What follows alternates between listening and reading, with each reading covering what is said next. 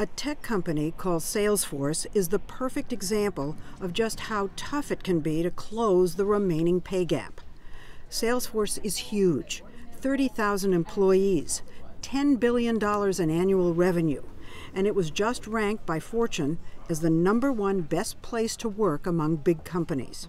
That helps explain why founder and CEO Marc Benioff was so cocky when the woman who runs his human resources department came to talk to him about equal pay back in 2015.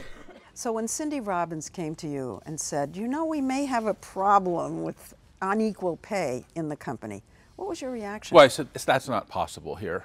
You know, it's, it's not possible. Why was it impossible? It's impossible because we have a great culture here. We're a, we're a best place to work.